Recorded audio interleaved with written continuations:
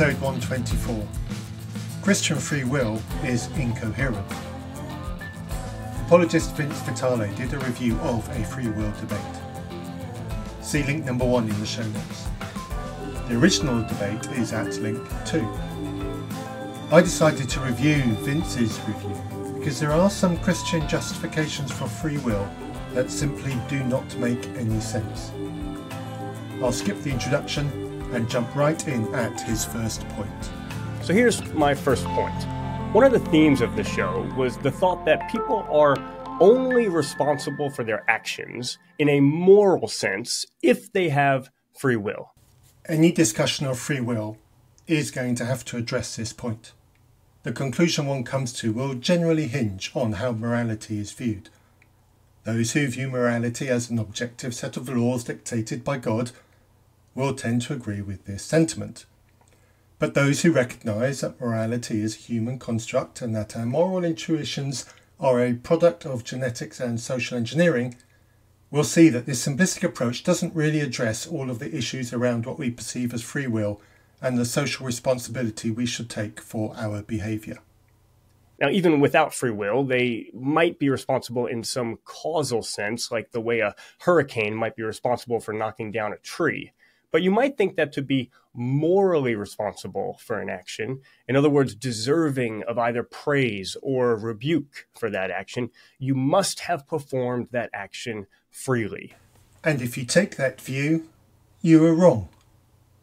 Receiving praise or rebuke for an action forms part of the social engineering that helps us to make decisions. This is why children have behavioural star charts. They are not yet mature enough to comprehend the knock on consequences of their behaviour, so we motivate them to do what we want them to do through rewards.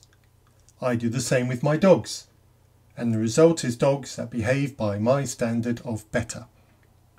Giving people praise for an action increases the chances of them doing that action again, while rebuke lowers it.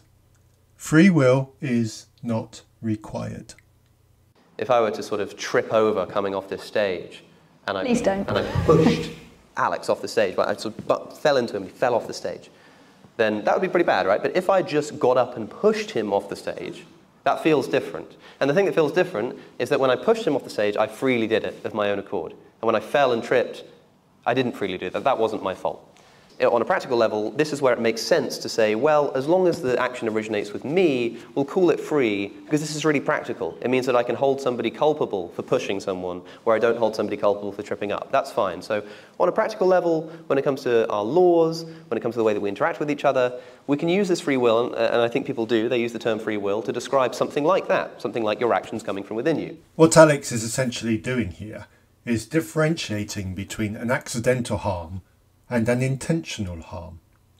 A harm that we do intentionally or on purpose is different to one that is accidental, that we did not intend. Let's hear what Vince has to say about this. And if you accept that assumption, one line of argument you might make, if you don't believe in free will, is to argue that because free will is an incoherent notion, or because people don't have free will for whatever reason you think, Therefore, people are not morally responsible for their actions. Um, no, for reasons I explained in a previous comment. Now, you might still think there should be consequences for bad actions. For example, you might think there could still be justifications for prisons. Yes. But they would be solely for the purposes of deterrence and rehabilitation, not for retribution. Rehabilitation, most certainly. Retribution, no. Because again, the assumption is that if we are not free, we are also not morally responsible for our actions, and therefore we should not be held morally responsible for our action. No, no, and yet more, no. Not having free will is not equivalent to not having knowledge of consequences. Not having free will does not mean we don't have the ability to morally diagnose an action. Vince's assertion of this assumption is bogus and is typical Christian misframing of viewpoints it doesn't like. It's clear so far? Good. So the first point I want to make is that for a Christian, the necessity of free will for moral responsibility may actually surface a different line of argument because Christians take the claims of the Bible seriously. They take the claims of the Bible to be true. And the Bible seems very clear that people do have moral responsibility for their actions. The Bible says it, so it must be true. We seem to have these like moral intuitions that tell us not to do that. So if you think about why the legal system exists, why it was invented in the first place, had a bunch of people going around murdering each other, and then collectively as a society, we realized that society will be much more stable if we had a legal system that tried to stop people from doing that. That's why it got invented. Before that happened, I think that biologically, our genes sort of did the same thing, but they did it with these things that we call moral intuitions. So, on an evolutionary trajectory, those societies, those organisms, which have some kind of inexplicable desire to not murder each other, to not like when people murder each other, that kind of thing, to have a very specific emotion that, that like, makes you not, not like that kind of thing happening, and therefore less likely to do it, and more likely to be angry when other people do it, will make that society more stable. Organisms are more likely to, to survive if they have some kind of rules against that kind of stuff. And that's what gives you this desire. Exactly. A society that has no problem with murdering each other won't survive to be productive, while a society that sees willful murder as harmful, and therefore wrong, will find itself surviving. The result is that the trait to find murder distasteful gets passed on in genes, while the trait to willfully murder dies out. It is evolution in action. It is survival of the better. No religious text required. So if Christians believe themselves to have biblical reason to affirm moral responsibility. And if moral responsibility does indeed require free will, it doesn't. Then Christians may have a strong biblically based reason for believing in free will. Sure, Christians do have a biblical reason for believing in free will. It does not make them right, though. Here's one more way to think about it two people might both think that moral responsibility requires free will. Remember, Vince only asserted that moral responsibility requires free will. Yet he keeps on banging this drum as though it is true, and he's not going to give any thought at all to being wrong. In this way, he's only giving half a viewpoint. In being true to Christianity, he assumes he is right and completely ignores points that oppose his view. One of those people might think they have an argument against free will and therefore conclude that there is no moral responsibility. Great straw man, Vince. Where's the person who denies free will but affirms moral responsibility? But the other person, if they are a Christian, might reason that because the Bible affirms moral responsibility, there must be such a thing as free will. That is also a rational line of argument. Sure, it can be rational, but only if you start with the foundation that the Bible is reliable, which isn't really rational. And so, as a Christian, I need to ask myself Am I more confident that there is a successful philosophical argument against free will, or in the biblical affirmation of moral responsibility? And confidence does not equate to truthfulness. But yeah, sure. Go be confident if you really, really need to. For many Christians, they are going to be much more confident in what the Bible affirms than in any nuanced philosophical argument against free will. And that, in summary, is everything that is wrong with Christianity. Confidence in what you believe, but no curiosity whatsoever in whether or not what you believe is actually true. I mean, even many non theists find themselves with more confidence in the reality of moral responsibility than in any of the arguments against free will. And there goes that drum again, equating free will with moral responsibility. The two are not equivalent. Treat them as separate things if you want to have this conversation in a way that exudes integrity. Point number two that I wanted to make we are not that smart. So often in philosophical discussions like this, there's this underlying assumption that if we can't understand something, that must mean that it's not true or it doesn't exist. Speak for yourself, Vince. The people I pay attention to say that if we can't understand something, then we should try as best as we can to find ways to understand it better. Because when we can't understand something, anything we say about that something is highly questionable and almost certainly false. The only way we can have any confidence in what we say about anything is if we make an effort to understand that something. Well, why did you go to the gym? Why did you walk your dog this morning? Because if I didn't, he wouldn't have got walked. So what? Yeah, I suppose I want to care for him. You want to care for the dog, Yeah. right? Like because you have this desire that your dog is in good health. Now you have a desire to not walk your dog at six in the morning, but you also have a desire that your dog be in good health. Which of those desires was stronger? The desire to look after him. Why? Because I like my dog. But like why? It's a good question. It, it just was, right? It was just stronger. And in fact, had the desire to stay at home been stronger, then that's simply what you would have done. So the thing is. that was pretty strong, just to be clear. Yeah, yeah, no, I hope so. I hope so. So, you know, if somebody wants to be healthy, but they're feeling a bit tired, do they go to the gym? Well, what's a stronger desire? What do they want more? To be healthy or to stay in bed that morning? Whichever one they happen to want more is what they'll do. Now, often it's more complicated because there are lots of factors.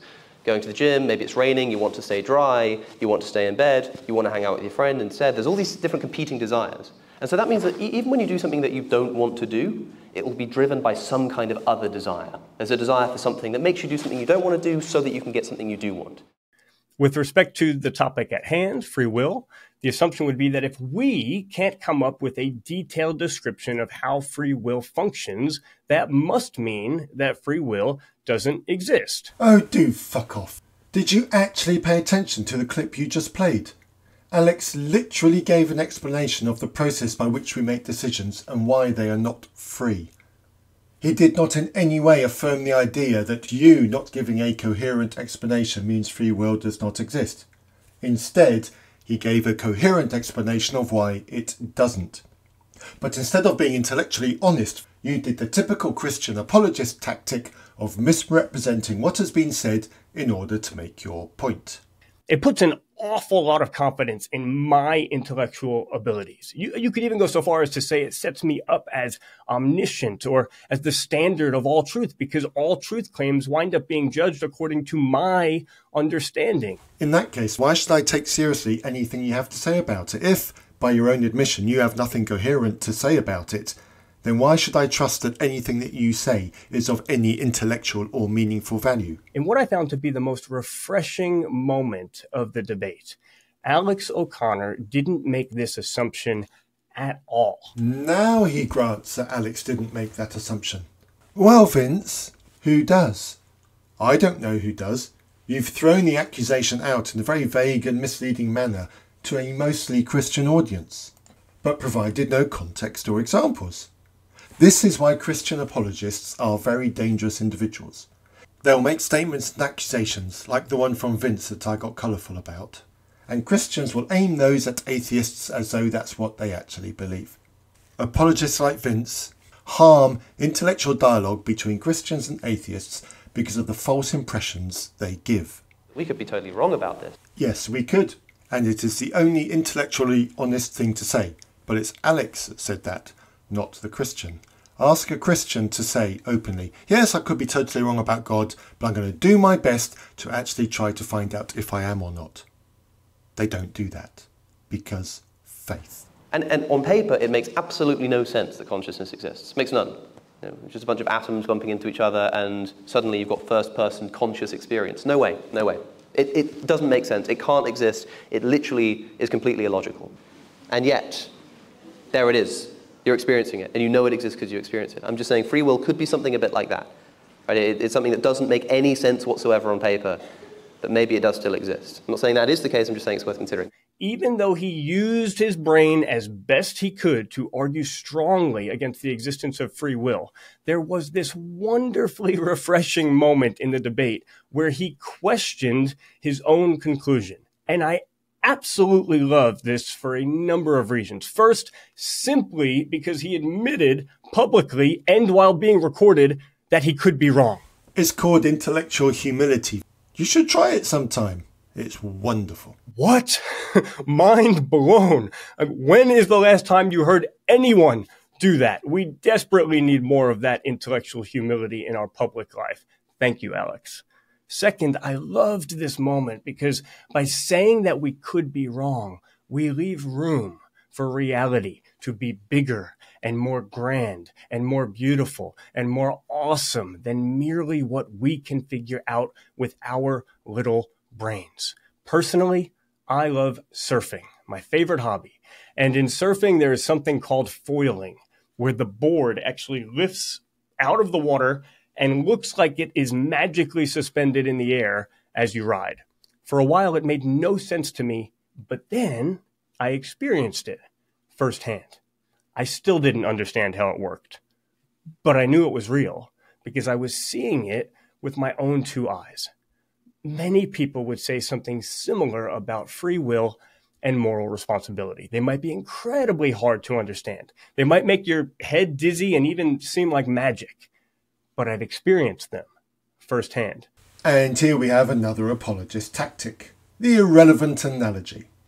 Take a cute story about something real and bend it into an illustration about something we are much less certain about. Foiling is real. We can explain it. See link 3.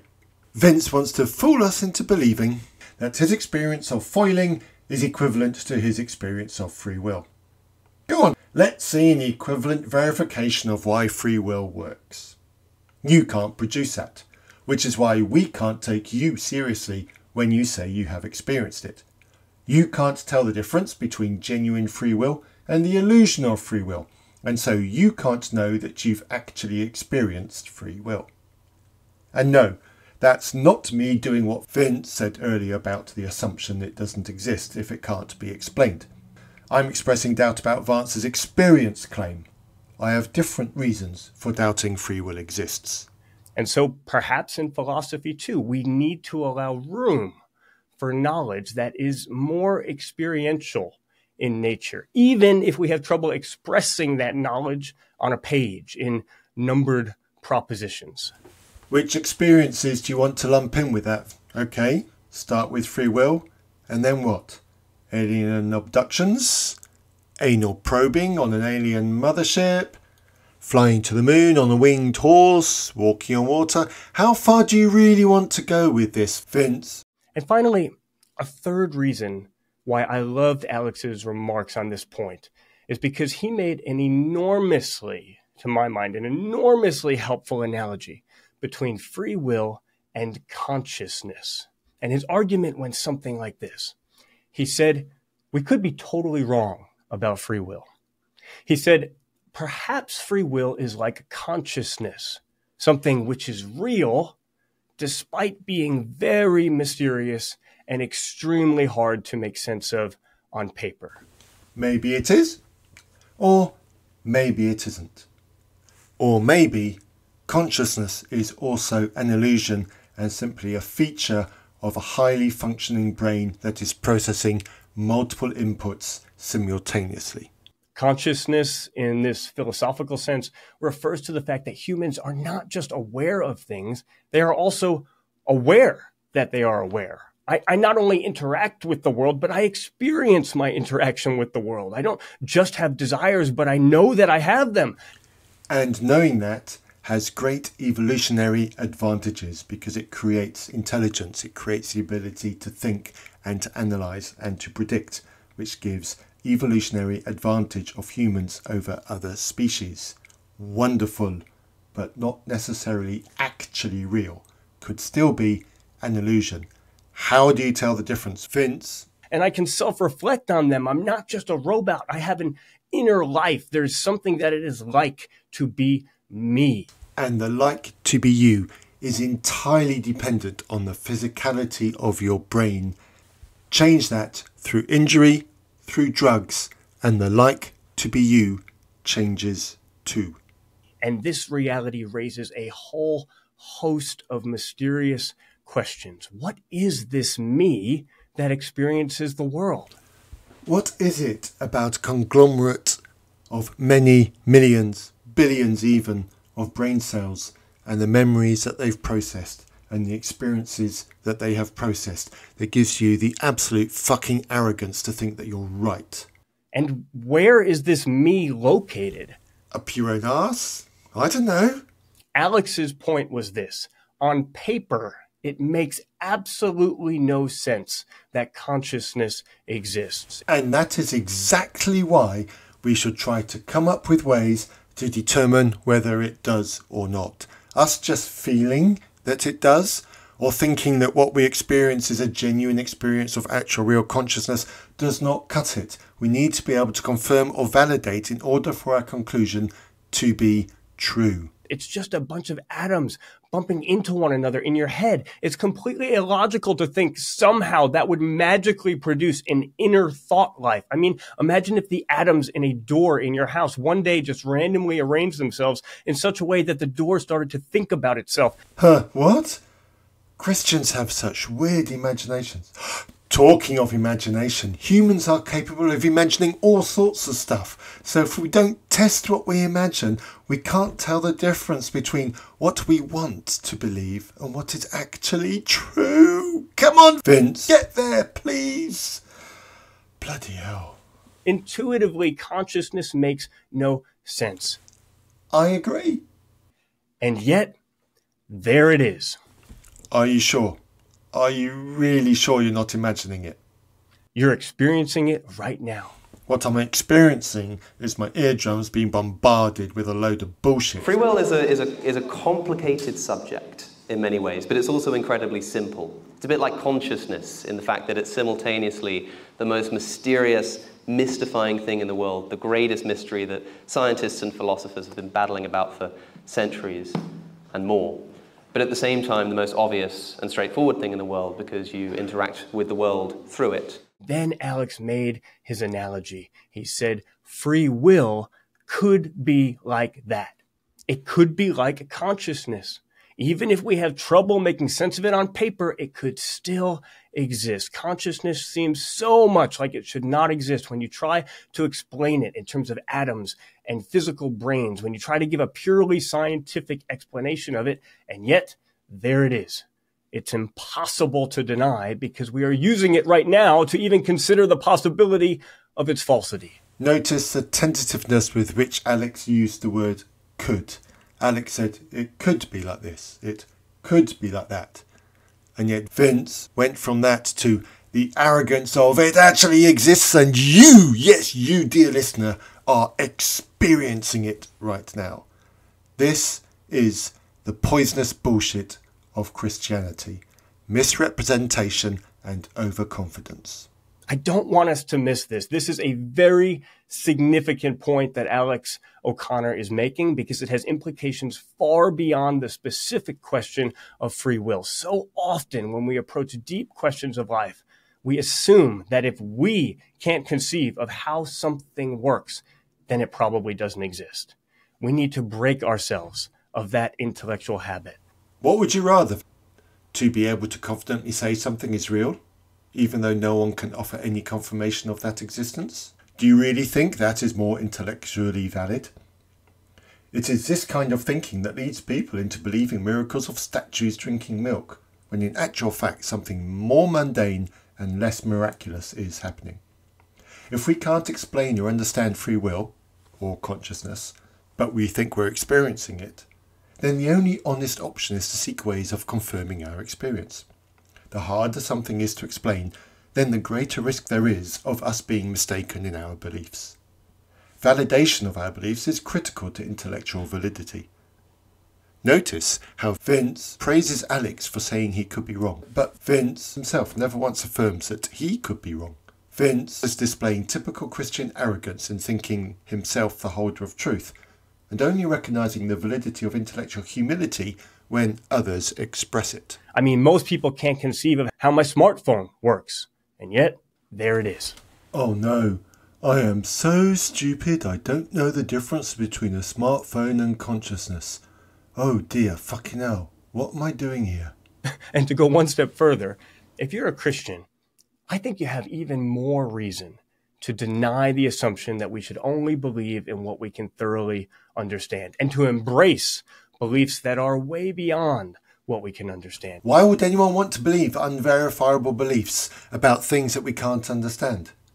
Vince is encouraging beliefs that are unverifiable, unconfirmable, and almost certainly wrong. The only possible way to confirm that your beliefs are true is by validating them through a process that we can understand. If you are a Christian and you really do agree with Vince, then ask yourself this How do you differentiate between beliefs that are wrong and beliefs that are correct? If you have an answer, let us know at reasonpress at gmail.com. As a Christian, I am deeply committed to this. First and foremost, because I believe in a God who is infinite and limitless. In fact, if I could fully conceive of how God works, that would actually be conclusive evidence that whatever I'm conceiving of, it's not God. Wait, you want to believe in something that you can't understand? Wow, dude, get help. And I believe God is omnipotent. So I believe he can make all sorts of things true of reality that are well beyond my intellectual grasp. And perhaps consciousness and free will are two of those things. God can bring into existence a much wider range of things than a finite universe can. Sure, if the Christian God exists, yeah, he can do all of those things. But why would anyone want to believe that without any kind of confirming or confirmable evidence or proof, if you want to use that word? And God might also have a particular interest in free will because of the role that it seems to play in meaningful relationships. So if you believe in God, I would say that even if you find free will baffling, you might still have very good reason for being open to the reality of it because even if we're not that smart, I believe that God is. If the Christian God exists, I can accept that he can do all those things. And yet, there is positive evidence that free will does not exist and that consciousness is a function of and inseparable from the brain. This in turn is evidence against Vince's God, and is why belief in things we don't or can't understand is absolutely not the way to a truthful or accurate conclusion. On multiple occasions in this episode, Vince criticised the assumption of non existence of things that we can't understand, and then asserted that it was valid to believe, without giving any reasonable justification. This is bullshit thinking, and just one example of why Christian belief is a poison to intelligence and critical thinking. While it is true that not being able to understand free will or consciousness is not a good reason to declare that they don't exist, it is a good reason to hold any belief about them loosely pending further information. But Vince never once suggested we should try to improve our understanding.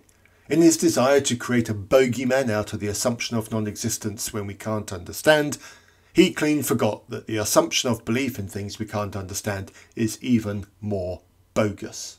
My third point is about the relationship between whether or not free will exists and whether or not God exists. This theme did not take center stage in the debate between Alex Carter and Alex O'Connor, but as a Christian, it's one of the very first places that my mind goes. What is the impact of whether or not we believe in free will on whether or not we should believe in God. All this talk of belief and not a single word about investigation or evidence. Christians are so disappointing. If something is random, then by definition you're not in control of it. But if some event is not random, what that means is that something has determined it to be the case. Something has made it so that this happened rather than that happened. There is a semantic difference between being compelled to act and being freely acting. You can look for scientific causes of my actions, and that's absolutely fair enough. But a scientific explanation of an event is one type of explanation. You can choose to do particular things, but when you choose to do something particular, it will be because you want to or because you're forced to. If you're forced to, you're not in control. If you do it because you want to, then given that you can't control your wants, you're not in control of that either. Now, often it seems to be just assumed that God's existence relies on the existence of free will, that there's some sort of obvious logical implication such that if free will does not exist, neither does God.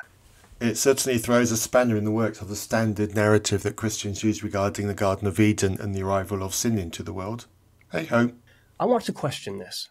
I at least want to suggest that the inference is not as obvious as we tend to assume. Here's why. Alex O'Connor's position, like uh, many who argue against free will is not just that we lack evidence for free will or that it is uh, improbable, but rather that it is a logical impossibility, that there is no logically coherent way to define the term, to parse out what is meant by an act being free. As he puts it, my position is not just that free will doesn't exist, it's that it cannot exist. But this claim of logical impossibility may surprisingly work in God's favor, in at least one sense. A famous argument against the omnipotence or all powerfulness of God proceeds by asking the following question Can God make a stone that is too heavy for him to lift? Uh oh, we're about to have another one of those irrelevant analogies now, aren't we? Stand by. Do you see the problem? The question is supposed to back the believer in God into a corner. Either God can make such a stone or he can't. If God can't make such a stone, there's something he can't do. He can't make the stone, and therefore he is not all powerful. But if he can make such a stone, there's still something he can't do. Then he can't lift the stone. Either way, there's something God can't do, and therefore God is lacking in power. It is generally accepted that this is a bad argument. And the reason it is a bad argument is because there's a hidden logical inconsistency in the initial question. God is by definition all powerful. And so the question is really asking can God make a stone too heavy for a being with limitless power to lift? Which is really just a way of asking whether God can be both limited and limitless at the same time which then reveals that hidden amidst the cuteness of the initial phrasing of the question is the fact that what is really being asked is whether God can bring about a logical contradiction. I'm sure there are many Christians who have thoughts on this, and there are probably many Christians who disagree on this. Personally, I don't give a shit. What I want to know is is belief in Vince's God of Christianity valid or worthwhile? Just show me the evidence or fuck off out of here. But this is supposed to be about free will and maybe as an aside, consciousness as well. Get on with it, Vince. The problem with appealing to or you know, rejecting it as just semantics is that you're rejecting the very words that we're using to utter these sentences that we're both using right now. So there's a lovely line by one philosopher who says, Yes, that's what free will means, but it's not what free will is. And I said, But the problem is you've just used the term free will twice. You use the same term each time, and that's your problem. You need to be able to explain that. So I totally agree that we can use science to explain events, but I also think there are some things which science can't explain just because it's the wrong tool for that mode of explanation. And how can you know that if you don't allow science to have a go at trying? So, how does this all relate to free will? Well, if Alex is right that free will is actually a logical impossibility, an incoherent notion, words that we can speak, but not actually something that can be coherently defined, then free will is like a square circle. Or God making a stone that he cannot lift. And then perhaps the believer in God can give a parallel response. Maybe she can say, look, if free will is simply impossible, then it doesn't count against God that he didn't make us with, with free will. That, that doesn't count against his goodness any more than him not being able to make a square circle counts against his power. And there's that irrelevant analogy again.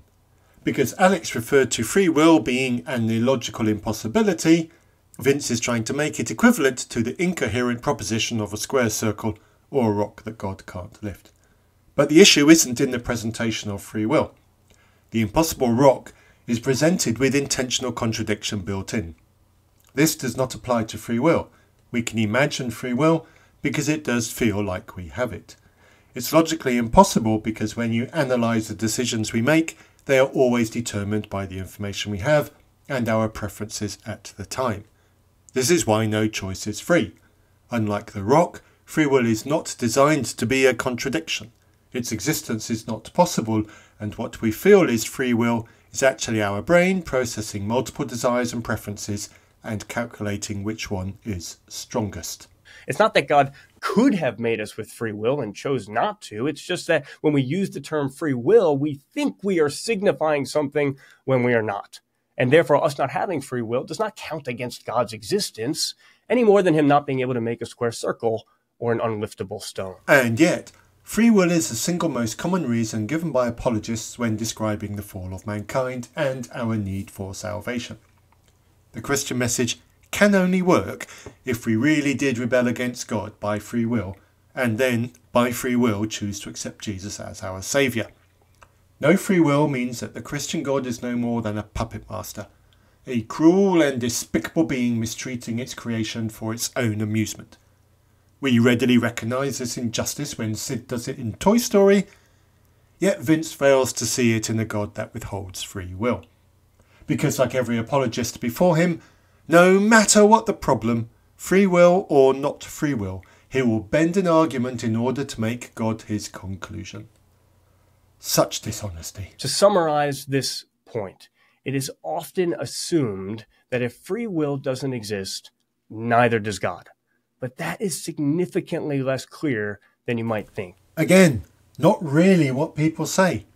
If there is no free will, that is a good case against the Christian God being a loving God.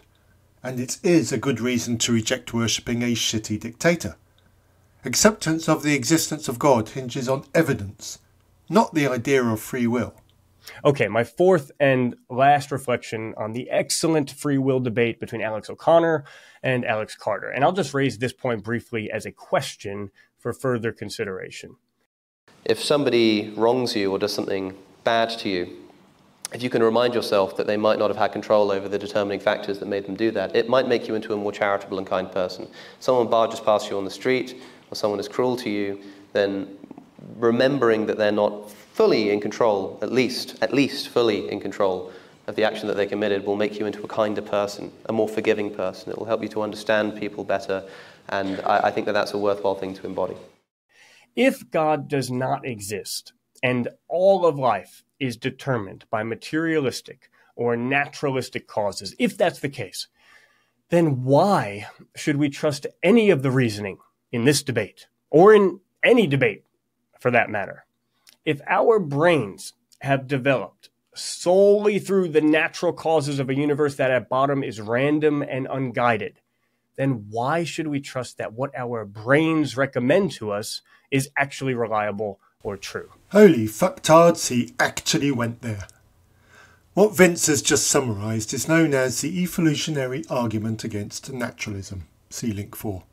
The simple answer is we don't and we can't, which is why the scientific method puts so much store into testing and replicating. But go beyond that and look at our legal system with its efforts to find truth through evidence presentation and how eyewitness testimony is notoriously unreliable. Our whole society works on the premise that the human mind is fallible and prone to serious error. It's only in the realm of religion where thinking up bullshit and presenting it as truth is admired. There is so much that we don't know. If you draw one circle on a piece of paper that represents the totality of all there is to be known, and then draw another circle inside of it that represents all that we know, the first circle would absolutely dwarf the proportionally minuscule circle of our knowledge. Exactly. Which is why when someone tells me God exists and he's experienced it, I am skeptical because I know the mind can be deceived. And on top of that, there are really complex debates about whether exclusively naturalistic causes, devoid of any supernatural purpose, would develop our brains to be aimed at beliefs that are true, or rather at beliefs that are merely conducive to our survival.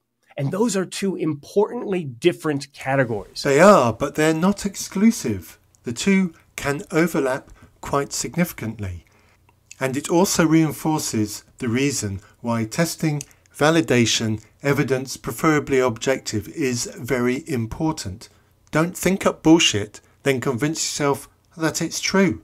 And if our brains are aimed at survival rather than truth, then is trusting our brains for truth actually a bit like stepping on a scale and expecting it to tell you the time? Weird analogy, but I guess it works. What it does tell you is don't take people's word for it.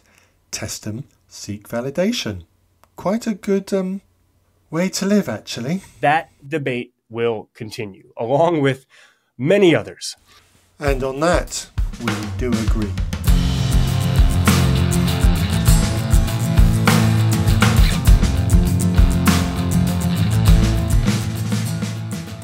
You have been listening to a podcast from Reason Press. Do you have any thoughts on what you've just heard? Do you have a topic that you would like us to cover? Please send all feedback to reasonpress at gmail.com. You might even appear on an episode. Our theme music was written for us by Holly. To hear more of her music, see the links in our show notes.